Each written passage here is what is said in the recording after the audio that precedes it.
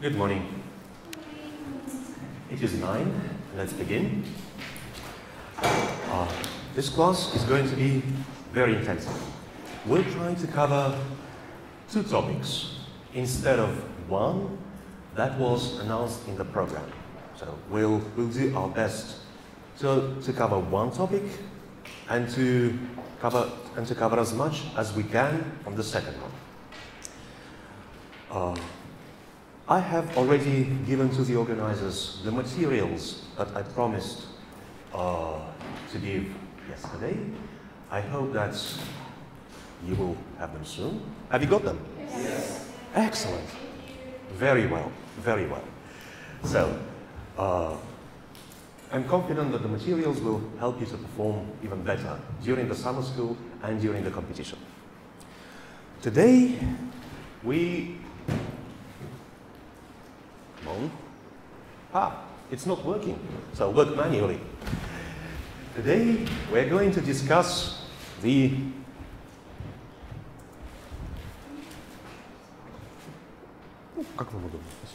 Today we're going to discuss the, the sources of international law and we'll proceed to the law of treaties in the second part of the class.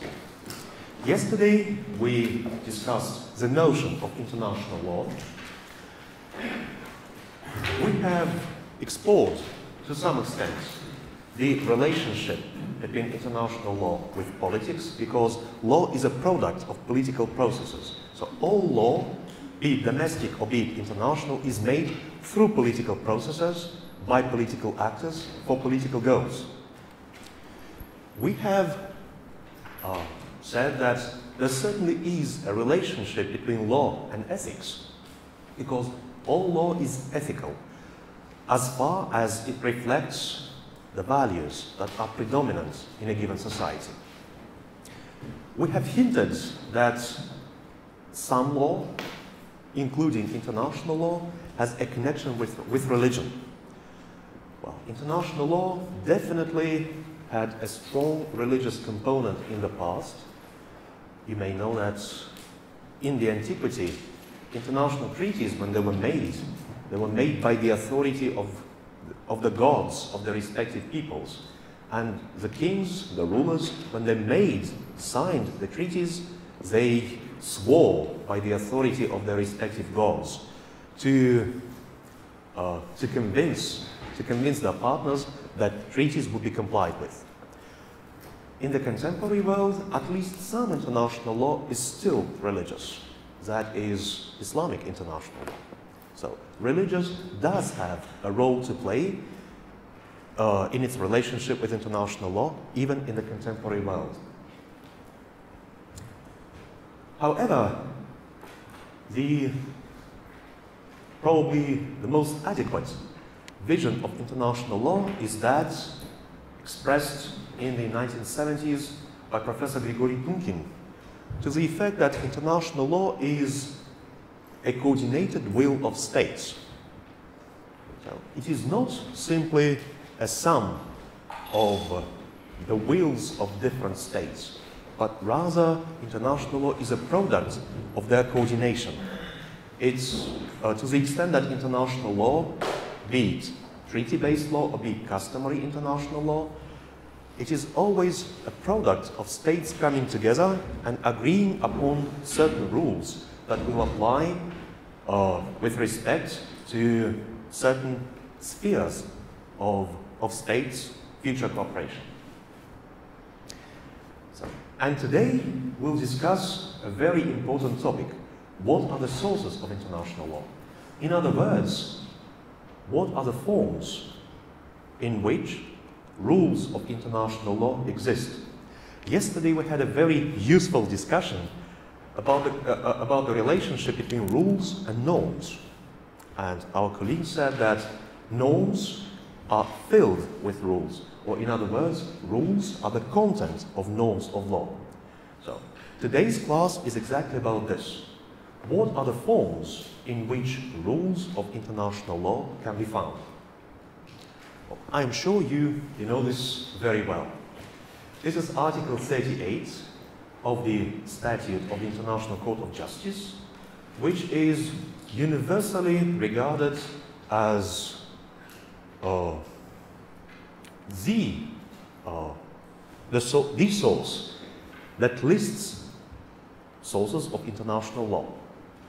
You know them very well. These are international conventions, international custom, the general principles of law, plus judicial decisions and the teachings of the most highly qualified publicists of the various nations as subsidiary means for the determination of rules of law. It seems to be easy. Yet let us devote some time to looking at these and other sources of international law that uh, gained in importance after the adoption of the statute of the ICJ. Well, this statute will soon be 100 years of age, and international law, of course, continued developing after the statute was adopted. So, as of now, there also are other sources of international law that are not exactly listed here or else which are implied by this list. So, the very first source of international law, which is listed in Article 38 of the ICJ statute, are international conventions, that is, treaties. What is a treaty?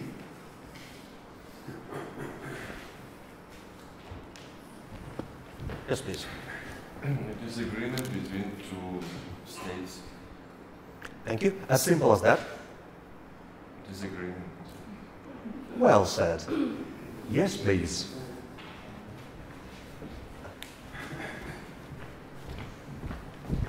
I think there is agreement that has an international power, but every state has ratified it, so it became powerful at level too. Thank you.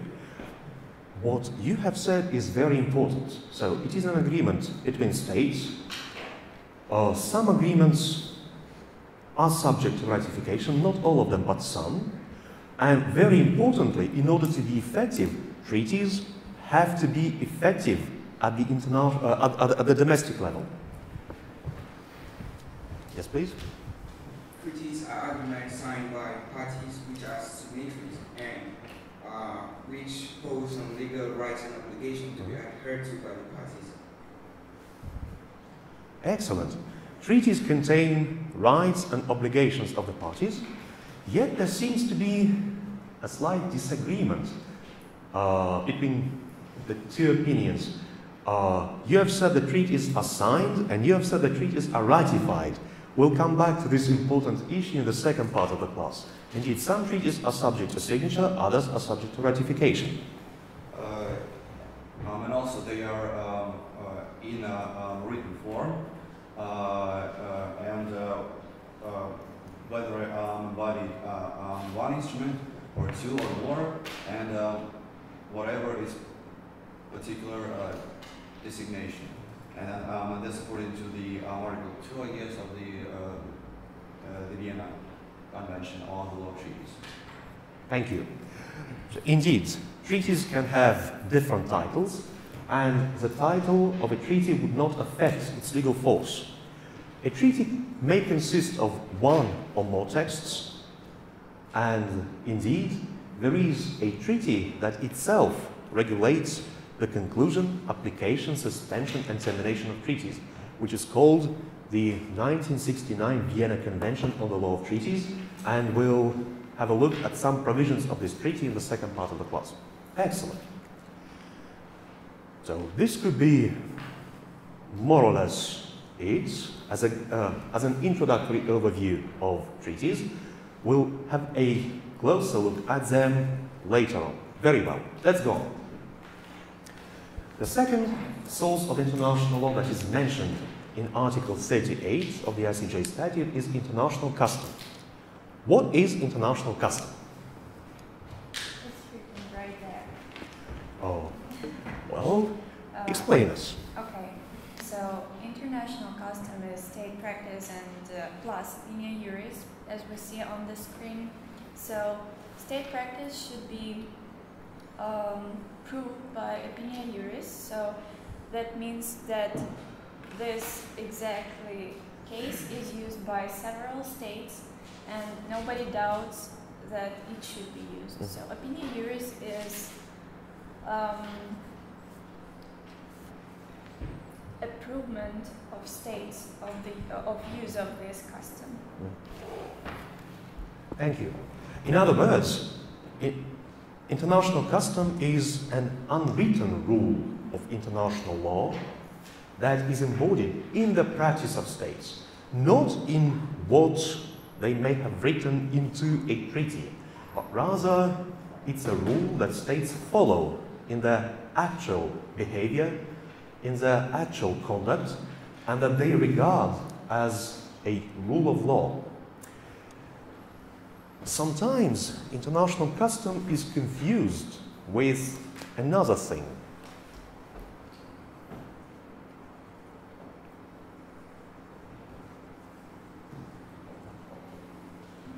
Comitas Gentium. Ever heard of it? Uh, Comitas Gentium, or the so called International Comity or International Politeness, are also unwritten rules which apply to the behavior of states, but unlike international custom, Comitas Gentium is mere politeness. These are not rules of law, they are not mandatory. Uh, if a state violates a rule of Comitas Gentium, there will be no state responsibility. However, for violations of rules of customary international law, state responsibility arises. And we'll discuss it in, the, in our fourth class. I think you had a point to make. Yes, and also I uh, want to add that state practice should be general, and opinio juris means that the state is conscious, uh, conscious that uh, if they behave and they, uh, in such a way, they are obliged with this customary rule. Thank you. This issue of the generality of state practice requires some clarification.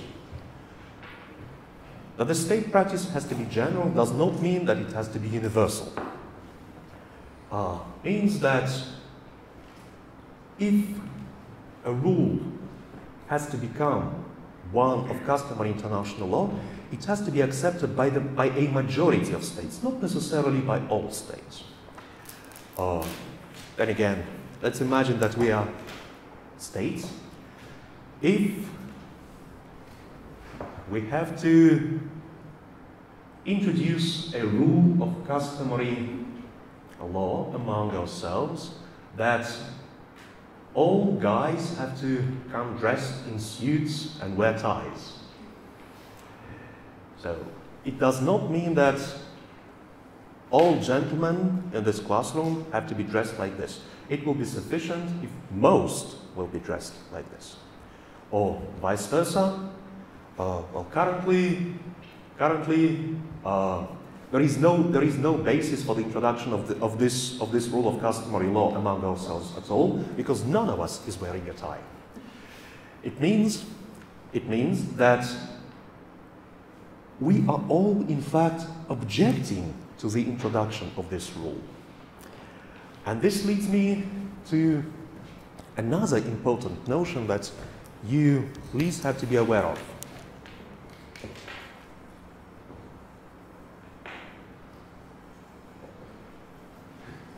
Persistent objector. What is persistent objector?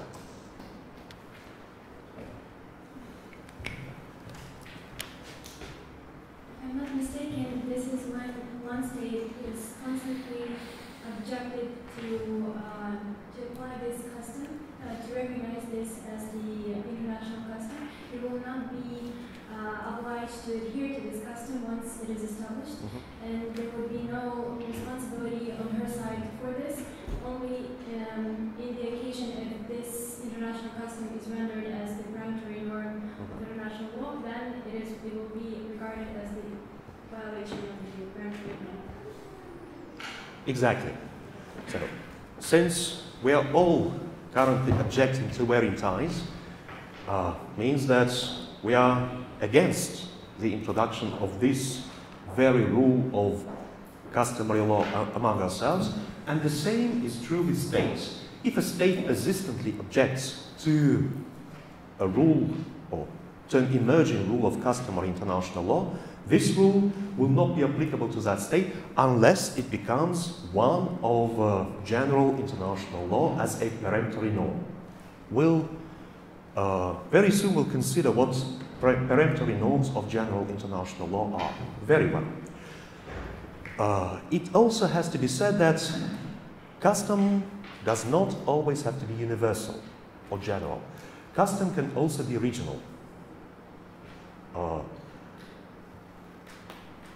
because, uh, because values are different in different regions of the world, because traditions are different, so there can be also local or regional rules of customary international law on different continents in uh, uh, among states whose peoples profess different religions, and that is normal.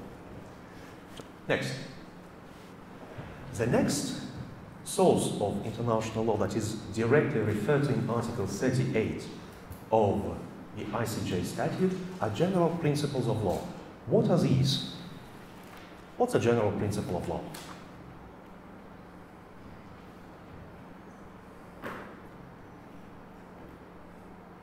Any ideas? Yes, please. Uh, this is a rules that can place uh, recognized by civilized nations around the world. Oh, world. okay. Um, can we try to make this definition more specific? Well, this is basically the foundation of the law itself. It is established through the state practice, not even the state practice, but like the whole existence of the law. So basically, we have the general principles of law and we have the principles of international law, and we have to distinguish them. So general principles of law they encompass more wide sphere of law, and the principles of international law they uh, are basically they they are applied to the international relations. Thank you. Oh. In other words, general principles of law are rules that tell us that what law is, what law is about. Uh, general principles of law tell us that rules of international law are indeed rules of law and not of ethics, not of politics, not of religion. This source is particularly valuable when, for example, an international court or parties to a relationship have to establish that a rule in question is one of law. Then they uh, apply to the rule in question these very principles to test the rule against uh, its nature, to, in order to establish its nature. Uh, just to give you an example,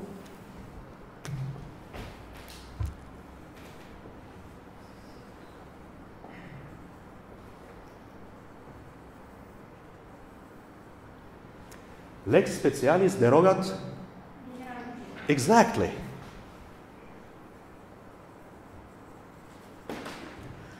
This is an example of a general principle of law that a special law derogates the general law.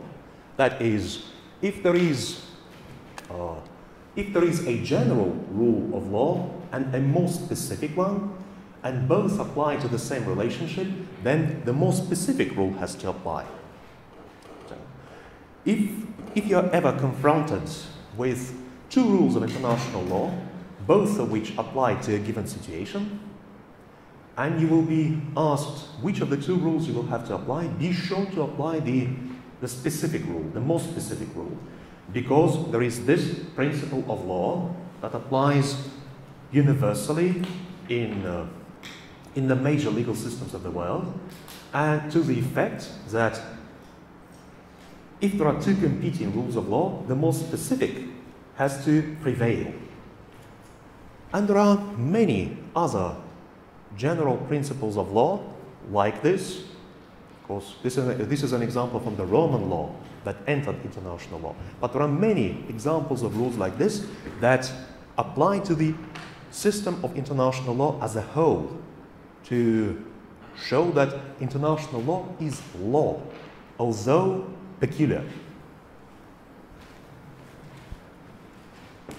And here we come to probably the most interesting part in Article 38 of the, of the statute. Judicial decisions and the teachings of the most highly qualified publicists. Is this also a source of international law, in your opinion? So this is a subsidiary secondary law that uh, is created to interpret the main, uh, subs- uh, the main uh, sources. Thank you. Uh,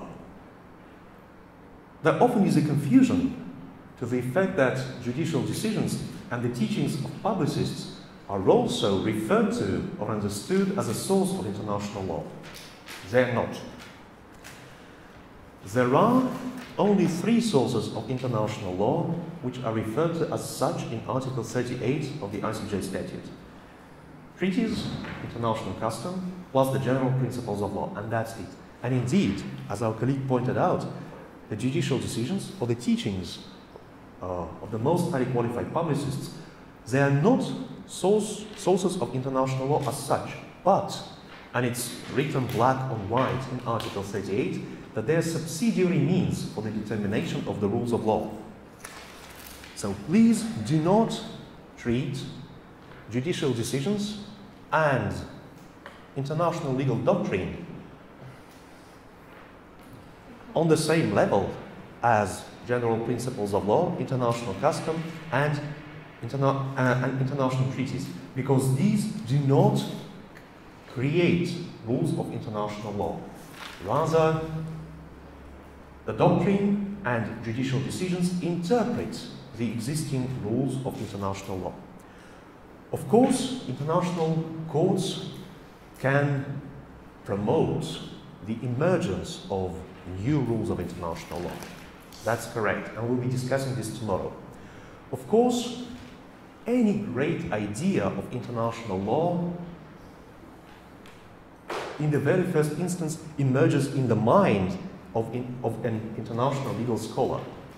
And in that sense, that scholar is the originator of a future rule of international law. But no scholar and no international court creates the rule of international law. They simply interpret the existing rules, or else they can prompt the emergence of future rules of international law.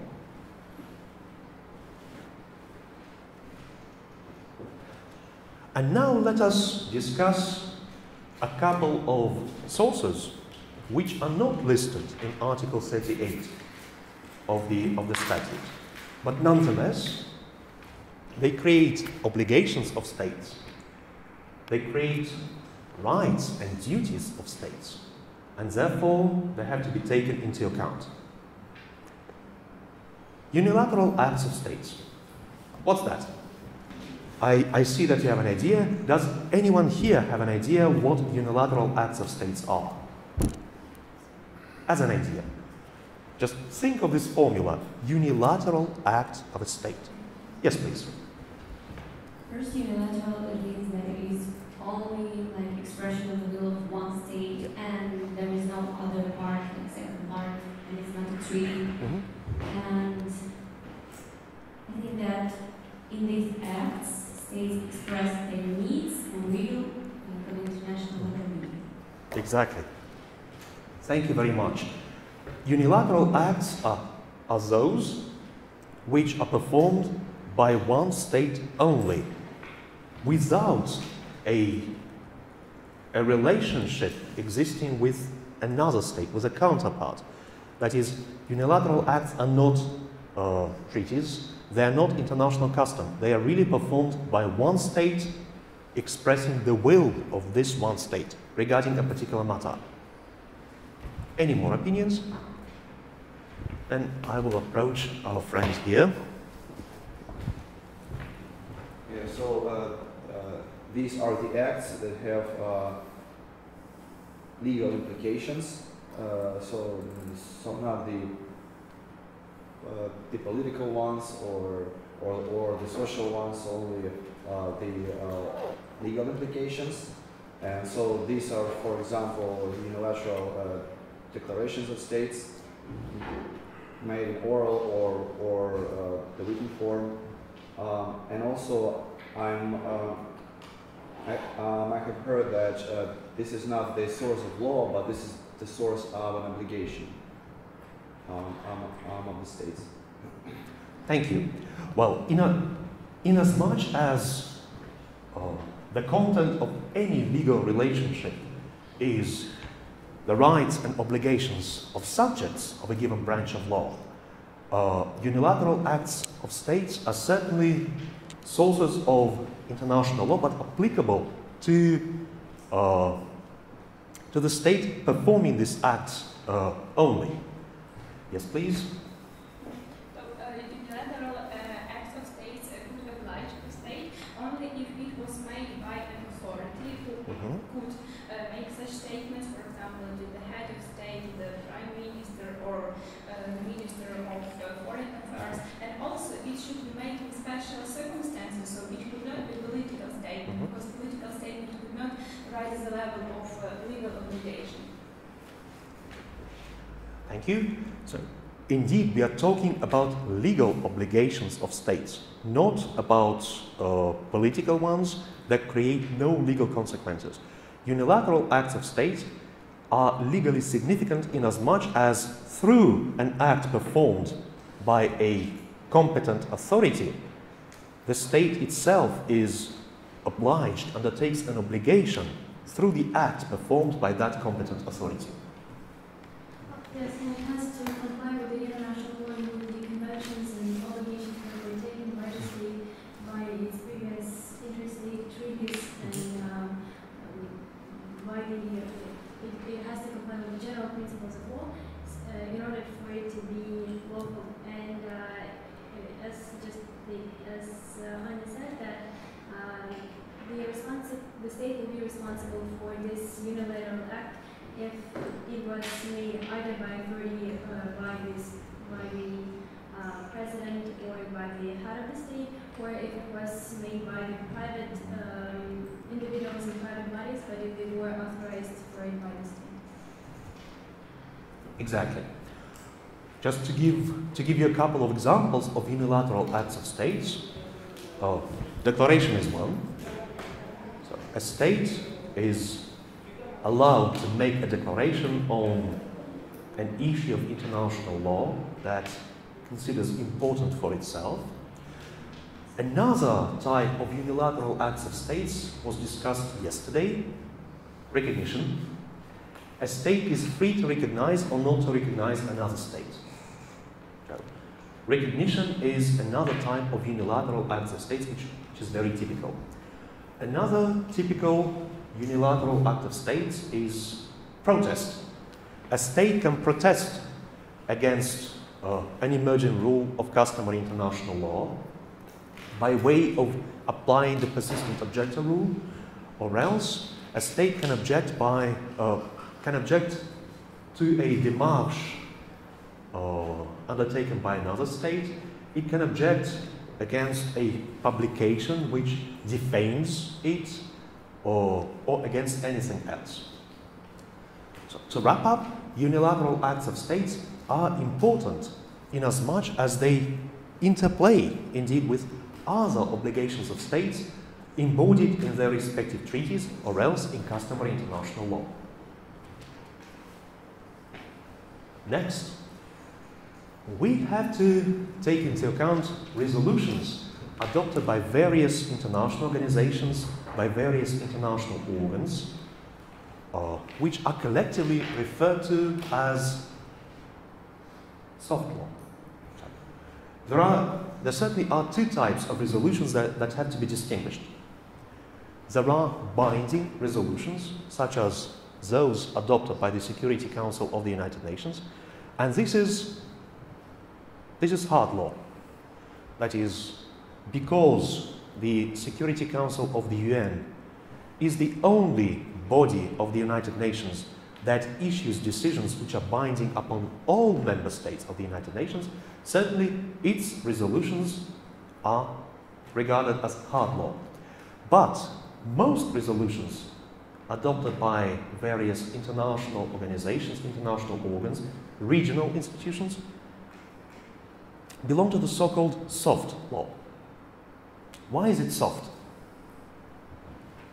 Yes, please. Um, it is regarded as soft as long as it is not uh, binding. It has the accommodating uh, character, and thus uh, there is no state responsibility for binding them. Uh, or the contrary, if we have the, the uh, breach of the UN uh, Security Council um, breach, then uh, there, there is a state responsibility, and thus it is soft. Thank you so much. Indeed, rules of soft law are not binding. Most of the time, they're recommendations, and a violation of such a rule would not, most of the time, entail the responsibility of a state. Uh, the most obvious example are resolutions of the General Assembly of the United Nations. However, please do not be misled by this general assumption that resolutions of the General Assembly are not binding at all. There are resolutions of the General Assembly which are binding, in fact. Uh, setting aside resolutions on the budget, which are binding uh, by definition, yet there can be, there are resolutions of the General Assembly which are binding because they reflect or they contain binding rules of international law.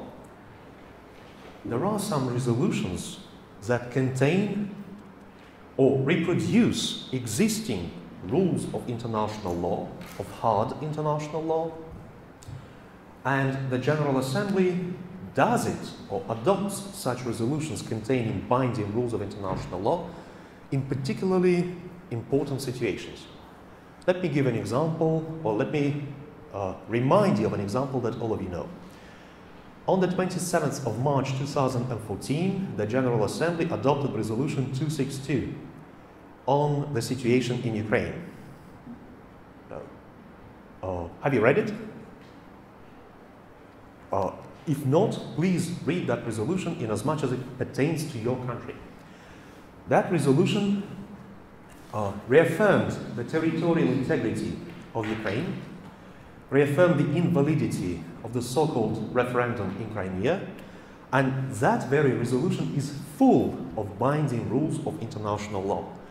So, this resolution is an example of uh, a resolution adopted by the General Assembly that cannot at all be regarded as non binding. Uh, be, please be aware that the General Assembly may adopt binding resolutions in as much as these contain uh, or reproduce existing mandatory rules of international law. Equity is another concept that we have to be aware of. What's equity?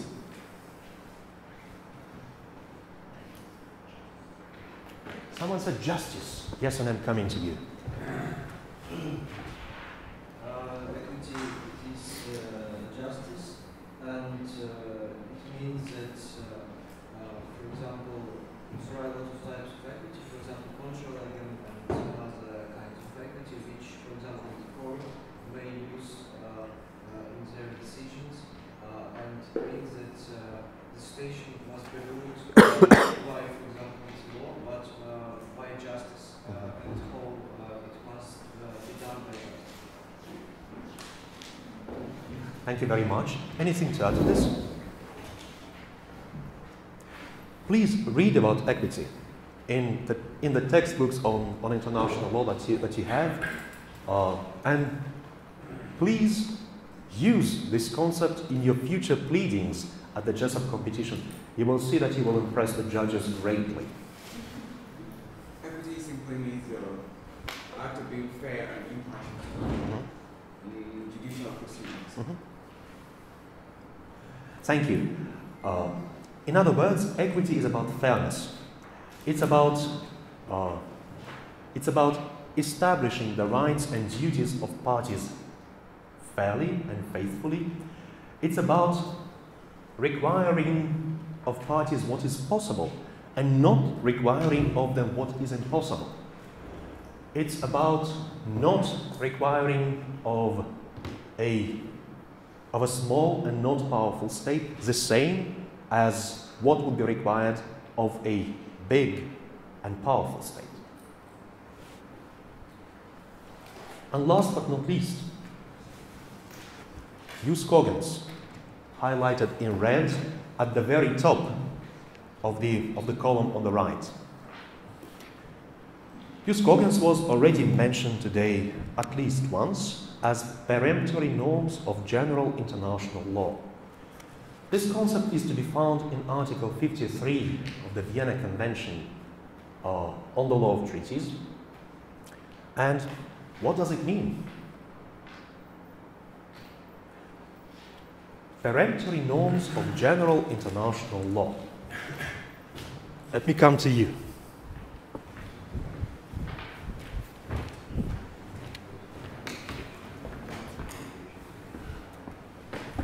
Yes, please. Actually, Article 53 of Vienna Convention uh, uh, provides a cogens norm. It is a peremptory rule of law, uh, which is no derogation is permitted, and it can be uh, modified only by the subsequent rule of general international law. Uh, it means that uh, actually it is there. Uh, Besides, the uh, Vienna Convention also provides that the uh, treaty which is uh, contradict cogens norm is void. Mhm. So it can be said that the jus cogens norm is the uh, primary norm of the whole uh, hierarchy of sources of international law. Exactly. That's why it's at the very top of the right column. And that's why it's highlighted in red. Peremptory norms of general international law are, they're sometimes referred to as constitutional norms of, of international law, which is technically not quite correct. This term is simply used to denote the superior status of these rules of international law in the hierarchy of, of rules. Because in domestic legal orders, rules of constitutions, they do enjoy the superior status, although constitutions do not exist in all states of the world. Uh, quite correct. Jus cogens, peremptory norms of general international law, they're so important that no rule of international law not having the same status can beat them. All treaty based or customary rules of international law are subordinated to jus cogens. No treaty can be superior to a rule of jus cogens. No rule of customary international law can be above it. An existing rule, uh, an existing peremptory norm of general international law can only be replaced by a subsequent rule having the same character. So only jus can modify jus. Can, can we think of examples of such rules? Uh, maybe uh, prohibited of uh, or another inhuman uh, relation, uh, for example, for any human, because uh, the right on life is uh, uh, not almost, uh, but the right of uh, freedom, the right of uh, uh, humanity, mm, integrity is uh, almost and it can be violated in any case. Uh, this is an example of these problems. Thank you. Uh, in other words, torture is prohibited. You have mentioned the keyword dignity. Uh, probably there is no greater uh, infringement of human dignity that, uh, than, than torture. Torture is prohibited, and the prohibition of torture is an example of, uh, of jus cogens. Among other jus cogens uh, is the principle of non-interference in the internal affairs of the state, of the territorial integrity, of the sovereignty of the state. Um, that's what I mean. Thank you. Uh, or else jus cogens encompasses the prohibition of aggression, the prohibition of slavery and slave trade, the prohibition of apartheid, and uh, some other rules. Unfortunately, there is no single source of international law where all rules of jus cogens could be found. There is no catalogue of uh, peremptory norms of general international law. I think that the International Law Commission would do a good job if it ever undertook this task to codify rules of, uh, of jus cogens. Uh, currently, such rules are scattered throughout various documents of the International Law Commission, uh, throughout various decisions and advisory opinions of the International Court of Justice, but they're not catalogued. So, uh, if you ever have to refer to the rules of jus cogens, you will have to do a job of researching the relevant sources of international law, the relevant judicial decisions and international legal doctrine, and make your case. Because if you do so, if you make your case by relying on a rule of jus cogens, your case will be very powerful. And so, con to conclude, to conclude on this subject, this could be a tentative chart of uh, the system of international law.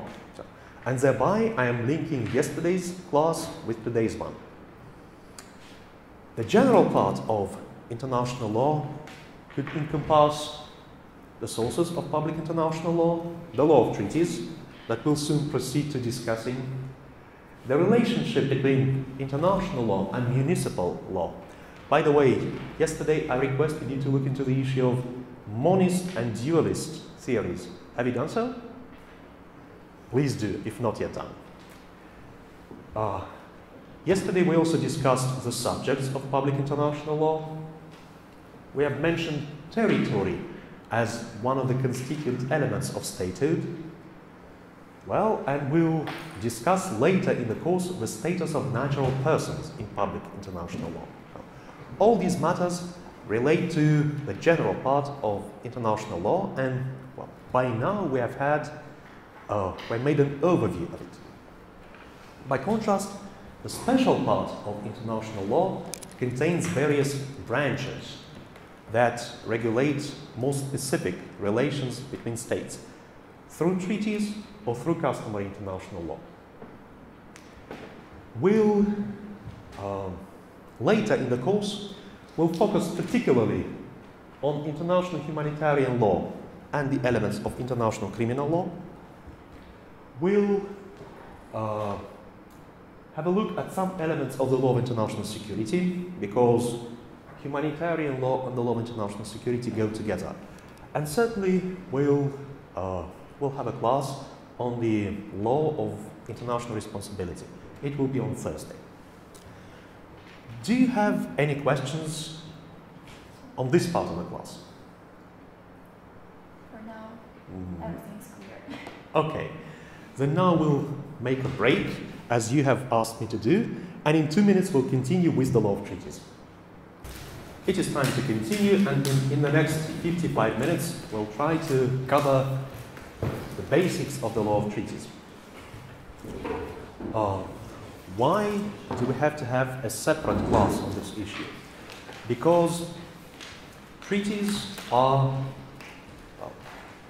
the main source of international law nowadays. Because most rights and obligations of states are currently reflected in treaties.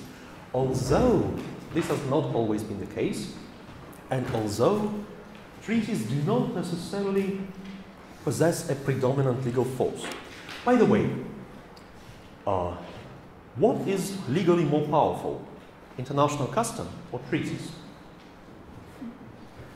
In other words, which of the two has a greater legal force, international custom or treaties? And why?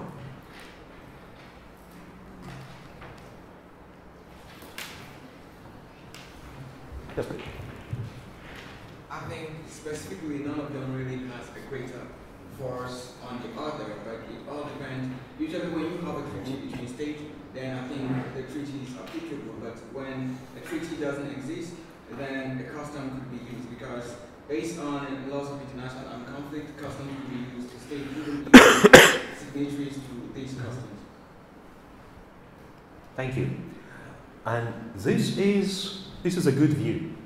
Technically, treaties and international custom have an equal legal force.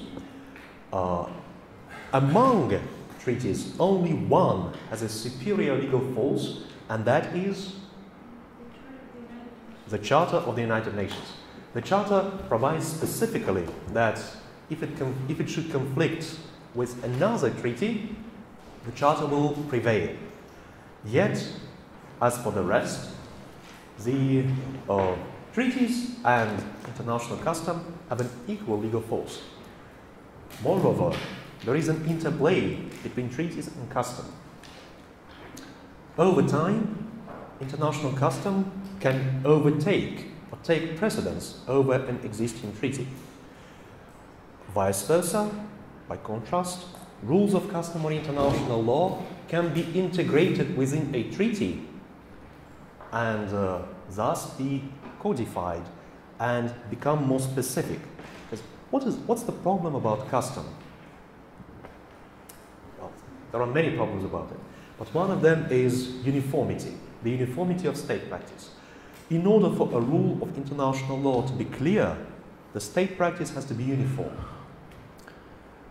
Uh, certain deviations from uniformity would not breach this uniformity as such. But uh, nonetheless, a, an unwritten rule of international law can be unclear, more or less. Of course, treaty rules are clearer, and if a customary rule of international law is codified in a treaty, well, this will this may contribute to its efficiency. So, treaty and custom do interplay. They uh, penetrate each other, so to say. Yet, none of them technically has a greater legal force. We'll have, we'll have a look at the law of treaties, at some major provisions of the 1969 Vienna Convention on, uh, on the law of treaties, in order to see how this very important source of international law, treaties, how they're made, how they are complied with, how they're suspended, and how, how they're terminated. Let me say a word of caution. This presentation will by no means replace your reading of the convention and your reading of commentaries to the Vienna Convention on the Law of Treaties. Please do read both the convention and the commentaries. Among the materials that you have, there is an authoritative commentary as thick of that, as thick as that, uh, on each and every article of the convention, so you, you will be very well prepared to, uh, to the event. What's a treaty?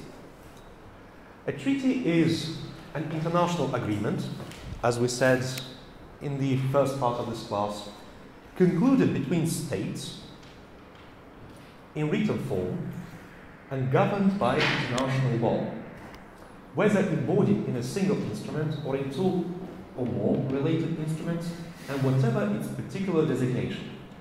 This is Article 2 of the Vienna Convention. This definition contains uh, some important elements that we have to pay attention to. Certainly, it is an agreement that is concluded by states, and here we, uh, we can ask ourselves but what about treaties concluded between states and international organizations, or between international organizations? The answer is yes, there are such treaties, but this convention does not apply to them. there is a separate convention that regulates treaties concluded between states and international organizations or else between international organizations. That convention was adopted in 1986. So, the Vienna Convention of 1969 only regulates treaties concluded between states. Uh, a treaty that is governed by the convention has to be concluded in, in writing, although uh, some treaties can also be concluded orally, but the Vienna Convention does not regulate. A treaty has to be governed by international law. And here let me ask you what this means. What does it mean that a treaty is governed by international law?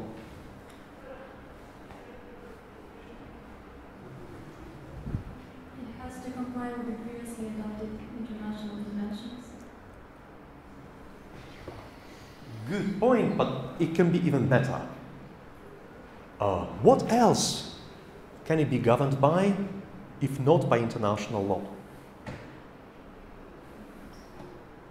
The answer, the answer is nothing. Uh, in other words, a treaty is only governed by international law, but of course, states can also conclude other agreements which are not governed by international law. Example a state can conclude commercial contracts. A state can conclude labor contracts with, with people who work for the state. These are also agreements, but they're not governed by international law. They're governed respectively by civil law, by commercial law, by labor law. So they're not treaties. A treaty is governed by international law in as much as it is about an issue of international law. Labor or commercial transactions are not issues of international law. They're issues of private international law, as we discussed yesterday. They're issues of international commercial law, but they're not ones of public international law. So a treaty is an agreement about an issue or issues of public international law. As we discussed today, a treaty may consist of a single instrument or of multiple instruments which are related together. And a treaty can have different designations. It can be called a treaty, an agreement, a convention, a covenant, a pact, a protocol, an optional protocol, an additional protocol, a memorandum, whatever. The legal force of a treaty is not affected by its title. If you're ever asked to compare the legal force of a protocol or a convention or a covenant, be sure to say that the legal force is equal because the legal force of a treaty does not depend on its title.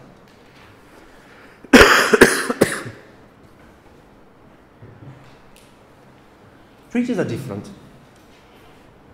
They can be concluded between states, between governments, between agencies of states, such as interministerial treaties. For example, a treaty between the Ministry of Education and Science of Ukraine and the Ministry of Education and Science of the Republic of Kazakhstan. So these are all treaties simply concluded, concluded at different, different level of, levels of authority. What about the legal force of these treaties? Uh, is the legal force of these three types of treaties different, in your opinion, or is it the same? There is, there is a hierarchy. There is a hierarchy. Why so? The highest place in the hierarchy takes the interstate treaties, Mhm. um, and all the others are downstairs. I just know this is this. Aha. So, do you want to say that a treaty between the Ministry of Education and Science of Ukraine and between the Ministry of Education and Science of the Republic of Kazakhstan, for example, well, has an insignificant legal force? No, I, I don't believe that it has insignificant legal force, but I do believe that it has fewer legal force than um, than the interstate treaties that are well, that are adopted or signed by the president by the heads of the states. Thank you. Uh, of course, an exact answer to this question would depend on a particular situation, but my counter argument to you would be the lex specialis derogat generalis.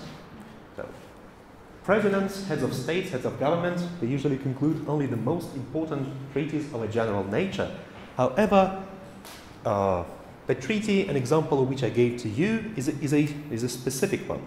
So, because such a treaty between the Ministries of, Education and Science of the two countries should regulate specific matters, I would not diminish its legal force. Simply, this is a specific treaty that should regulate specific matters that other state, state bodies would, would simply not go into. Now, the legal force of such a treaty is, uh, is important, is no less significant than, uh, than that of other treaties. Simply, uh, the competence of the respective bodies concluding the treaties would be different. A president would not sign a treaty between the ministries uh, of education and science. A president would put his or her signature on a more general, more programmatic treaty, whereas a treaty like this would be left up to the competence of a specific minister. Uh, treaties can also be classified by the number of parties that participate in them. There are bilateral treaties, applicable between two states, and there are multilateral treaties applicable between three or more states. What about their legal force? Which, whichever is more powerful, a multilateral treaty or, or a bilateral one, and why?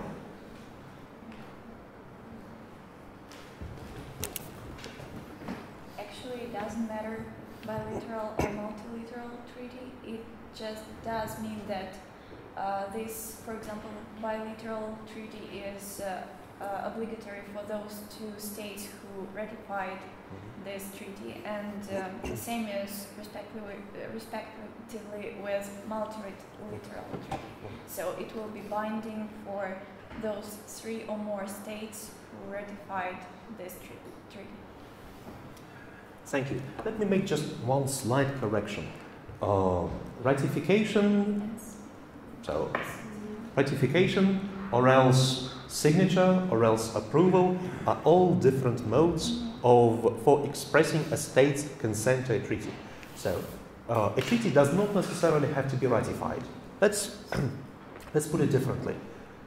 Any treaty that has entered into force for a specific state has legal force for this state, and indeed, both multilateral treaties and bilateral treaties of a state possess an, e an equal legal force. Ideally, they should, they should not contradict one another. Sorry, but if they do, if they do contradict one another, then the issue of interpretation of a treaty arises. Then a state will be confronted with the need to explain this contradiction, to do something about it, to uh, smoothen the contradiction so as to make the application of both conflicting treaties uh, possible.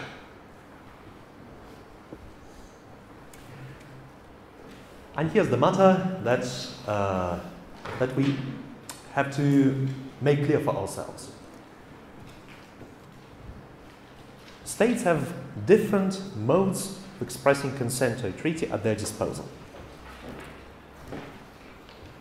States may consent to a treaty by signature, by, by ratification, by acceptance or approval, by exchange of instruments, or by accession. These modes of expressing consent to a treaty are listed in the, uh, in the 1969 Vienna Convention. Let us, uh, uh, let us try to understand quickly what each of these modes means. What is signature? And let me go again to the uh, to this part of the class. I'd like to hear your voices. So, what is understood by signature? What do we mean that when we say that a treaty is signed?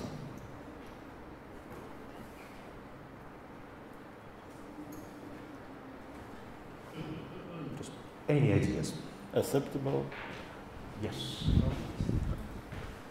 Uh, when a treaty is signed, uh, then there are um, some uh, people with a certain authority to sign this treaty, and uh, they put their signature on the text of the treaty, uh, it acquires legal force.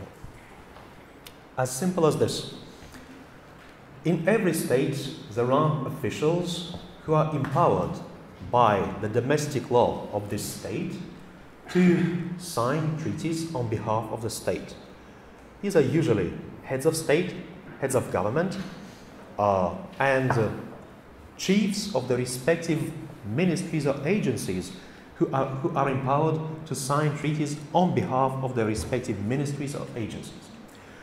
A treaty concluded by signature can enter into force immediately after signature if it provides so, or else it may require subsequent ratification. What is then ratification? That's easy. You raise the hand? No? Yes. Publication. Publication, no. Well, this is the procedure that is prescribed within the national legislation of every state, uh, by which the uh, parliament it accepts the uh, convention or whatever the treaty is uh, that it is it will be adhered in the in this state. Thank you. In other words, ratification is approval, so to say, of a treaty by, usually by the parliament, uh, of a treaty that was previously signed on behalf of, uh, of a state. Uh, many states of the world have domestic laws on international treaties, and these laws specify which treaties are subject to ratification. Usually, these are treaties that concern human rights of their nationals, treaties on military cooperation, treaties that require changes to be made to the domestic laws. So, of course, such treaties they are subject to ratification, that is, approval by representative bodies uh, of, of a given state, by the parliament. Uh, in turn, every treaty itself has to specify when it will enter into force immediately after signature or after ratification, or else, if it is a multilateral treaty, how many ratifications the treaty should require to enter into force. For example, the Rome Statute of the International Criminal Court required how many ratifications to enter into force? 60. Um, and how many ratifications did the Geneva Conventions for the Protection of Victims of War require to enter into force? Only two. The Geneva, Conven- uh, the Geneva Conventions of 1949 only required two ratifications to enter into force. Why so? This was done on purpose to make the conventions immediately applicable in the likely event of an armed conflict. So, uh, the conventions were designed in such a way as to make them applicable at least between these two states that would have ratified them should, it, should an international armed conflict start between them. Consent to a treaty can also be expressed by acceptance or approval. What's that?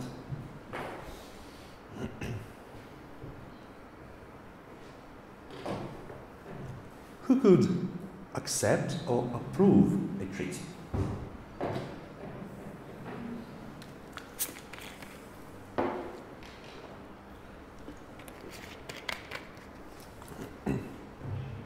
That's easy. Uh, this is answered in the respective domestic laws on international treaties within a state, acceptance or approval is usually done by the government. For instance, uh, if an interministerial treaty is concluded, for example, between the Ministries of Education and Science, such a treaty may require acceptance or approval by the government because it's not only up to the Ministry of Education and Science to comply with this treaty. The Ministry of Finance would also be involved because it's about money.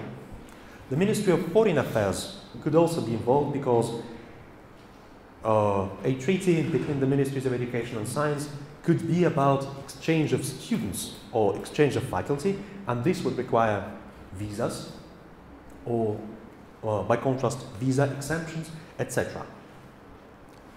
Consent by exchange of instruments. What's that?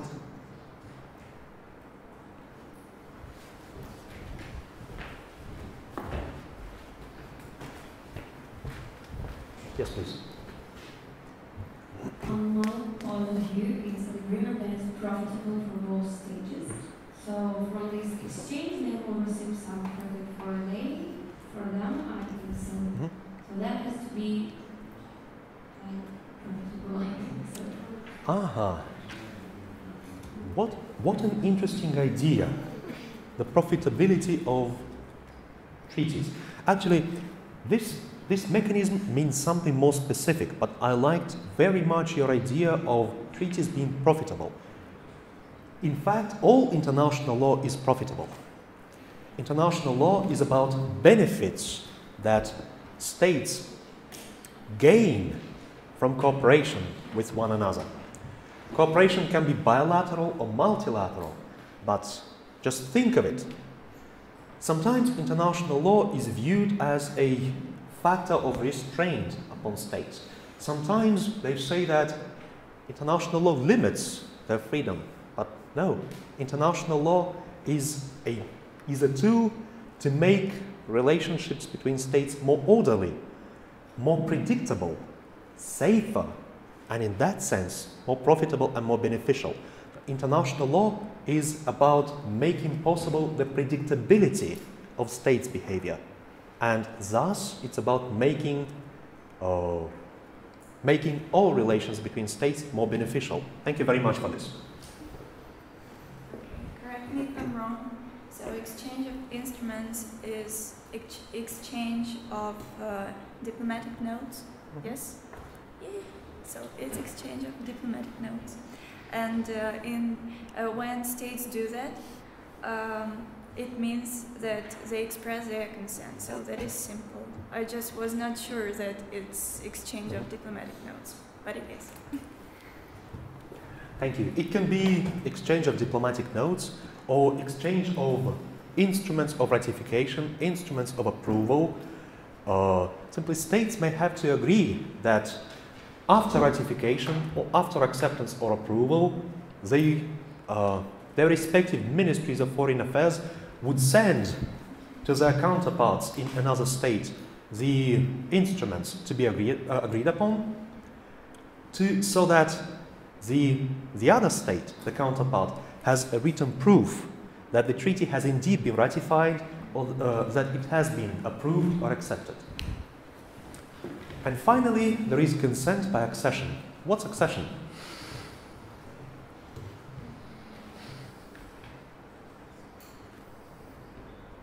Assumption of power. Assumption of power. Uh, can you explain this? How do you mean it?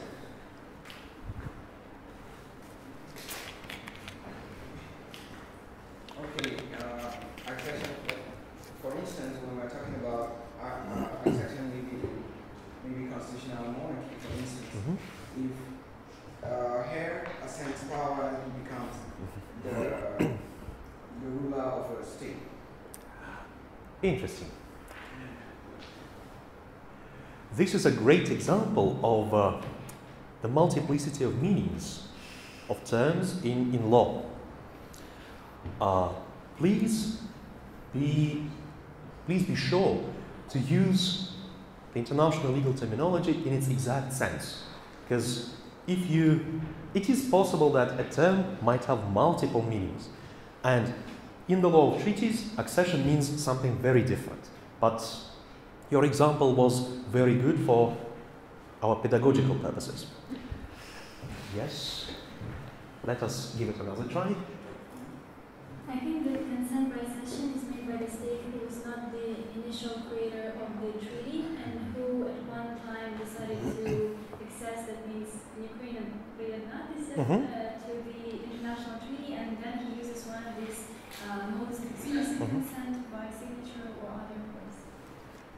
Exactly.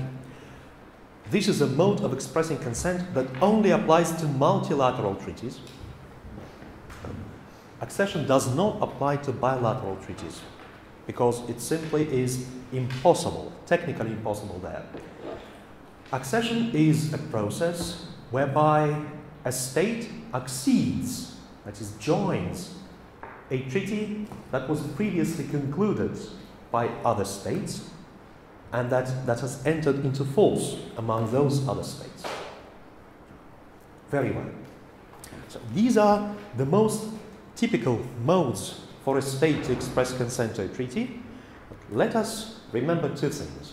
That first, a treaty itself always provides the which mechanism for its entry into force would apply. And second, a state would always conclude an international treaty in accordance with its, with its domestic legislation. In a state, there usually is a law on, on treaties that provides exactly who is authorized to sign, to ratify, to accept or approve a treaty, how this is done. Uh, so, all the procedure is there. We have to be aware that there is such a thing as reservations. What's a reservation? Reservation is a unilateral statement. So, this is another example of a unilateral act.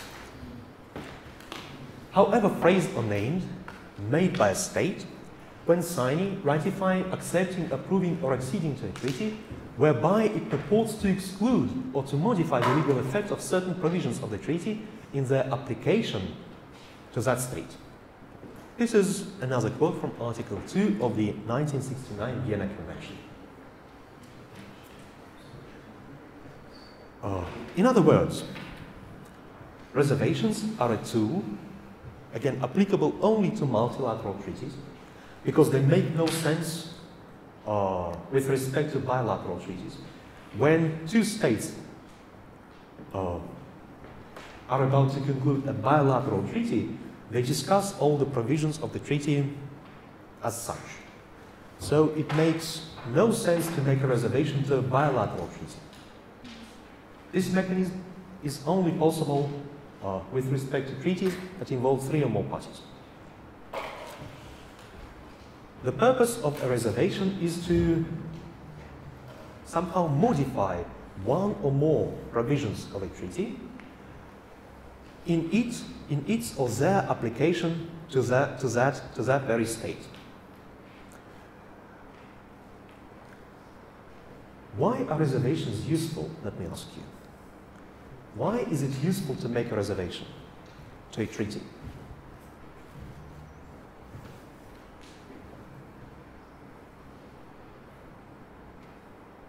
Why would a state want to make a reservation?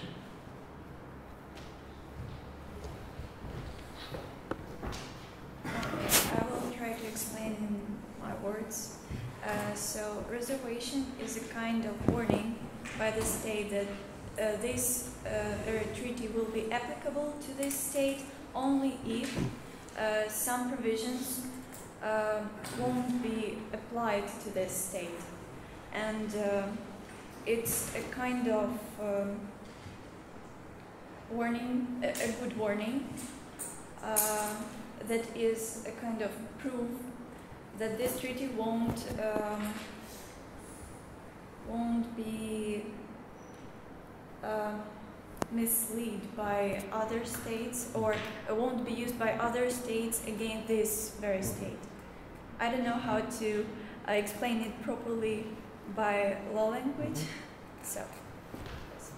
But that, that was a good attempt. The purpose of a, of a reservation is to uh, shield a state against certain undesirable consequences of a treaty. State may want to uh, be a party to a treaty, but at the same time, it may want to prevent certain consequences that this treaty may entail for itself. For instance, uh, state may want to enact certain provisions of a treaty only after a certain period of time, or else it may want to limit the application of a treaty to uh, a particular part of its territory, although usually treaties apply to the whole territory of a state. Or else a state may want to exclude certain groups of people from the, uh, from the field of application of a treaty. So reservations are egoistic provisions in that sense. Um, I would also say that uh, they are used in order to make the, uh, the agreement more um, flexible Mhm. Or to, uh, to adjust uh, the, uh, the, uh, the agreement uh, to the special um, uh, circumstances or to the features of the state. So Sure. That's a positive way to, to look at reservations. Yes, please. These are basically expression of the wills of state to protect its own interests Mhm. in case certain conditions are not met. Mhm. Good. For example, as I see it, it is also very, like some treaties or some conventions, they may prescribe the two modes of uh, international behavior. I mean, for example, there is the International Labour Organization, and uh, it adopted a convention, uh, for example, if the company is bankrupt, so uh, the order of the payment, the procedure of conducting the payment to the employees. Mhm. And this convention it prescribed two ways of conducting those payments, and when Ukraine uh, ratified this convention, it prescribed in, in, her reservation that it would comply only with the second mode of conducting this payment. So it is for the better of the state. It just shows how much the state is able to comply with it. Excellent. Uh, that is uh, that's it, that is exactly exactly it. Reservations, on the one hand, help states to uh, guard themselves against certain consequences of treaties, and on the other hand, they make certain treaty provisions specifically applicable or specifically suited to the current circumstances within, within a given state. Please note, reservations may not affect the object or purpose of the treaty in question. This is very important. Uh, reservations may be, may be about many technicalities. They, they, they can be about the modes of payment, payments to be made. It can be about the range of people affected. It can be about uh, specific organs within a state who will be in charge of, uh, in, of executing the treaty. But reservations may never affect the very object and purpose of the treaty in question.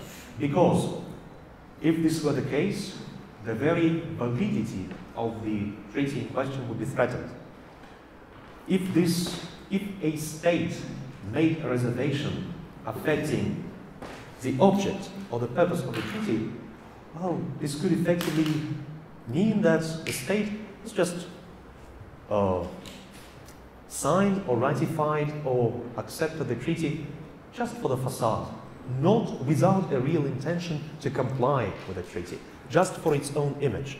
Therefore, international law prohibits uh, states from making reservations affecting uh, the objects and purposes of treaties.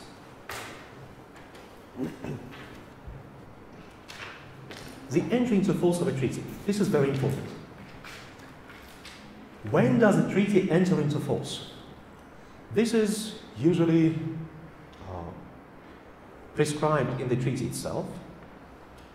Uh, for instance, a treaty may stipulate that it would enter into force immediately after signature or after two ratifications, as is the case with the 1949 Geneva Conventions, or a treaty may require a certain number of ratifications, or a treaty may stipulate that it would enter into force after a certain number of days after, for example, 60 ratifications were made.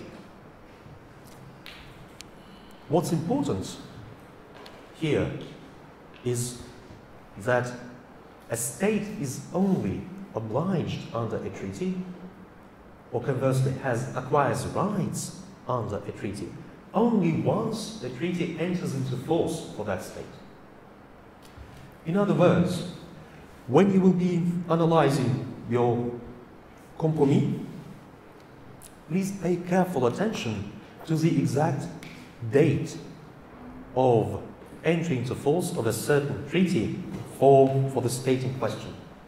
It may be, it may be in the compromis that uh, some obligations that you think have a reason for, for a given state have not indeed a reason for it yet because of the procedure of this agreements entry into force. In other words, a state only acquires rights and obligations under a certain treaty after the treaty enters into force under it, not before. So, before the entry into force of a treaty, a state is not obliged under the treaty and has no rights under the treaty. That's why the determination of the exact date of a treaty's entry into force is crucial. It's absolutely crucial. And the next point is one that the faith mentioned publication. Uh, why, is, why is the publication of a treaty important? The publication of a treaty is important for the clarification Mhm. and so that everyone will be able to see it and see the terms adhere to it without any misunderstanding. Thank you. That's a, that's a good way to put it. Uh, states usually publish their, their treaties in collections, in official collections of records, in official collections of treaties. Uh, this is done with the purpose of making it clear that the treaty, uh, no, this is done with the purpose of making the treaty available to everyone concerned, to the organs of a state, to judges who may want to rely on the provisions of a given treaty, to legal entities and to individuals who may also want to rely on the provisions of a, uh, of a given treaty uh, in their different contracts, in their different litigations. Importantly, treaties should also be registered at the Secretariat of the United Nations. Please note that this registration would not affect the legal force of such a treaty. If a treaty is not registered at the Secret- Secretariat of the UN, it will not become invalid in legal terms. Simply, states have usually register their treaties at the Secretariat of the United Nations in order to be able to rely upon the treaties in the various organs of the UN. For, in, for instance, in the International Court of Justice or in the United Nations Security Council. So, registration at the UN is not a condition for making treaties valid. No, it's a condition for states to rely upon the treaties in the various organs of the United Nations.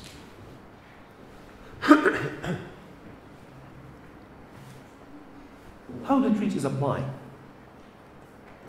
They apply in accordance with the principle, as Michael put it, pacta sunt servanda. Treaties have to be complied with in good faith. That's the, that's the meaning of this principle. Uh, means that because international law is a law of coordination, because treaties are entered into voluntarily, it is a legitimate expectation of states, parties to a treaty, that their counterparts would comply with the treaty in good faith. Pacta sunt servanda is a fundamental principle of international law. In fact, international law cannot, cannot exist without this principle. Because there is no superior authority in international law that could enforce treaties. there is no international police that could be addressed if a treaty is violated. There are there is no international court with a universal mandatory jurisdiction that could enforce treaty. Yes, there are regional courts with thematic jurisdictions, such as the European Court of Human Rights. But this court is, uh, the competence of this court is limited geographically. Yes, there is the, the International Court of Justice, but as you know, its jurisdiction is not, is not mandatory, and many states of the world are, have not accepted the compulsory jurisdiction of the, of the ICJ. And even if the ICJ rules in a dispute between states, the decision of the ICJ will be, uh, will be binding only upon the parties to a given dispute, only upon these two states that have a dispute between them. Therefore, it is crucial to comply with treaties in good faith and to avoid disputes as far as possible. But should a dispute arise, then in the resolution of the dispute, parties would rely upon the provisions of the treaty. What about the application of successive treaties? Let's imagine that Marina and I, as states, have a treaty on a certain issue. And then we conclude another. For, for, instance, we have a treaty on trade. And then we decide to conclude another treaty, a later treaty also dealing with trade. Which of the two treaties will apply?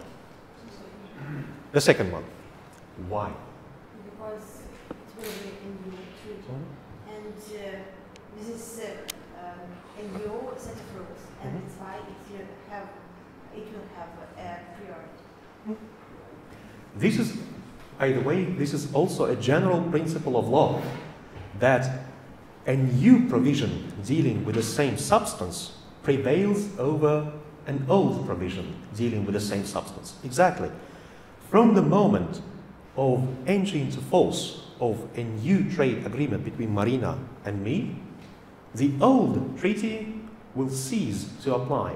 Or else, it may be provided in the new treaty that the new treaty will only cover a part of, uh, mm, of the domain that the previous treaty had been covering. So, in this case, the previous treaty would apply within the limits not covered by the new treaty, and the, new, and the provisions of the new treaty would replace the analogous provisions of the previous treaty. Very well. What about the application of treaties to third states? Yes. If you and I have a treaty, would our treaty affect our friend? Well, the general rule is that the uh, treaty to which uh, party it can't affect uh, can't affect the, the first state, but under certain circumstances it can, and such circumstances is provided by the Vienna Convention. I can't clearly to this question, but I tried. Well, um, for example, when there are states which are the parties to the treaty and they determined their particular provision of the treaty as a means of resolving dispute, and the first state accepts such provision as binding to the third state, and in that case, it can affect the. Great, thank you. I have nothing to add. Indeed, if you and I have a treaty, as a rule, this treaty would only affect us, and we may not agree among ourselves that our treaty would affect Dmitry as a state. Only if, only if his state agrees explicitly to such a side effect of our treaty, then our treaty may, might become binding upon him as well. But as a general rule, treaties do not create obligations for third states. They only create rights and obligations for their parties. And that's, by the way, a difference, an essential difference between a treaty and a rule of customary international law. The range of participants of treaties is limited to them, whereas rules of customary international law are of a more general application.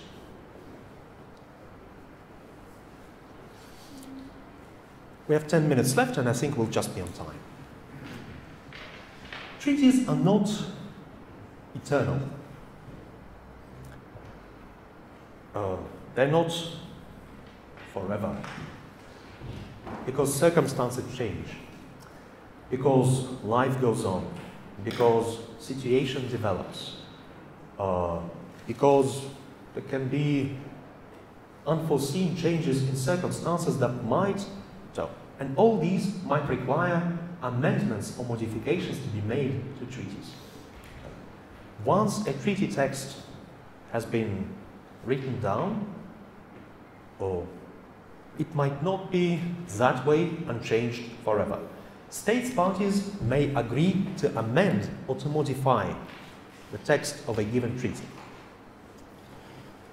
What's the difference between amendment and modification? An amendment is a change that is made to the text of a treaty and that, that is agreed upon and concerns all parties to a treaty. For instance, we all have a multilateral treaty applicable among ourselves, and we can all agree to amend a treaty so that the new rule, the amended rule, will apply to all of us. Or else, just some of us may want to modify a certain provision of a treaty, and that modification will only concern two or three or five states that have agreed upon a modification. And this is interesting. Uh, Marina said some time ago that, as a rule, treaty, all treaties have equal legal force and all treaties have to be complied with equally. But what if it may happen? What if two treaties contradict one another? Can be. Uh, or else, what to do if a treaty provision, if there is no contradiction, but within a single treaty there is a provision or provisions that require clarification. In, in such cases, states have recourse to interpretation of treaty rules. Interpretation means explanation of the meaning of a treaty provision with a view to applying this provision better, more efficiently, more faithfully in accordance with the pacta sunt servanda principle. I like that one, uh, that one very much. Uh, there are three main ways to interpret treaties. The textual interpretation, otherwise referred to as literal, means that words in a treaty usually have to be accorded their dictionary meaning. A term, in other words, a term used in a treaty has to be interpreted in accordance with what is meant by it in a dictionary. What's an investment? I am not an investment lawyer, so this is, this is not my field, and I would have a difficulty to explain to you now what, what an investment is. Shame on me. Uh, but if I had to understand what an investment is, I would have to look into a law dictionary. I would have, uh, I would have to look into hmm, legal doctrine. I would have to look into uh, some articles on this subject in order to understand the meaning of this term in accordance with its literal use what is usually meant by investment among specialists. So I not being a specialist in investment law, I would have to refer to an uh, accepted meaning of this word in order to understand what it means, without, without reinventing the wheel. Circum circumstantial interpretation means, usually means, uh, recalls to the so-called travaux préparatoires. What are these travaux? Oh, two hands at a time. Great. What are the travaux? It's a official record of process uh, of concluding the treaty. Exactly. Uh, anything to add? Yes, and it is very valuable because the travaux préparatoires uh, it expresses that their particular state wanted uh, what particular meaning, particular provision of the treaty the state wanted to give. So, and according to Vienna Convention, it uses as the subsidiary means of interpretation, and when the primary means of, of interpretation left the text of treaty ambiguous or controversial. Thank you. That's, that's it. Sometimes it may be helpful to refer to the official records of a diplomatic conference, for instance, where, where, where, a certain treaty was developed, drafted, in order to determine what was meant exactly by this or that term by, by a state that made a proposed a certain provision. So it may be useful to refer to the circumstances of drafting a certain a specific provision of a treaty in order to, in order to understand what exactly was meant by, by, this, by this or that word. And thirdly, so-called teleological or purpose-related interpretation might be helpful. Uh, states always conclude treaties with certain purposes. I would say with certain purposes in mind, but I'm not sure that states have minds. Uh, however, states certainly have interests. And these interests are always reflected in, uh, in treaties. It may be helpful to try to understand the true purpose for a state to conclude a certain treaty. And anyway, a combination of the three, of the three modalities of interpreting treaties would, in most cases, lead one to a proper interpretation of a treaty rule. and finally, treaties may be, uh, may be invalid, may become invalid in certain cases. Once a treaty is concluded, it, it applies. If a treaty is of an undetermined duration, it will apply indefinitely until it is terminated. However, in certain circumstances, treaties may become invalid. These are the most typical circumstances uh, for the invalidity of treaties which are listed in the Vienna Convention. Let's start with the first one, uh, because it's the easiest one. Often states refer to their municipal law to invalidate treaties. They say uh, a treaty, yes, we have concluded it, but now our municipal legislation has changed, and, and so the treaty is, we, we consider the treaty as invalid. The Vienna Convention provides black on white that conflict between a treaty and municipal law is not a ground, let me repeat, it is not a ground for the invalidation of treaties. A state is considered to be bound by a treaty even if, it even if its municipal legislation changes. It is presumed that a state has to continue complying with international law, even if it changes its municipal law. But by contrast, the other four, the other four circumstances are good enough, are sufficient enough to invalidate treaties. For instance, if an error was made during the process of concluding a treaty, if a state representative involved in negotiating or concluding a treaty genuinely believed that the treaty was about something else, something different than, uh, than, it was, than, it, than it factually was. If there was an error in the mind of the drafter of a treaty or of a person who was authorized to give consent, to express consent to the treaty on behalf of the state. So such an error would invalidate the treaty as applicable to, to that state. If a treaty was concluded as a result of fraud or corruption, of course, it should also be invalid. Because both fraud and corruption are factors affecting the free will of a state. Likewise, a treaty, if a treaty is concluded by coercion, this is another ground to, uh, to hold it invalid. Because again, the free will of a state and all international law is about free will of states would be, would be affected.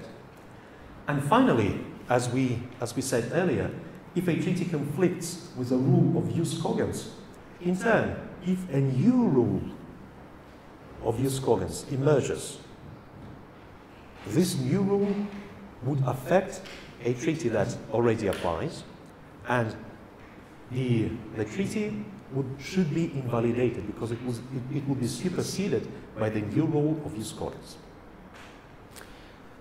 Our time is up. We'll, uh, we'll continue tomorrow. As regards the law of treaties, please take the, the coming months and you will have many months before you will plead at the national grounds of the Jessup competition in this country, and some of you will be pleading at the international rounds. Please take some time to read and study the provisions of the Vienna Convention very carefully. Please study those provisions together with that big commentary that you also have at your disposal. It will be very helpful. Let me thank you very much for your work. Thank you.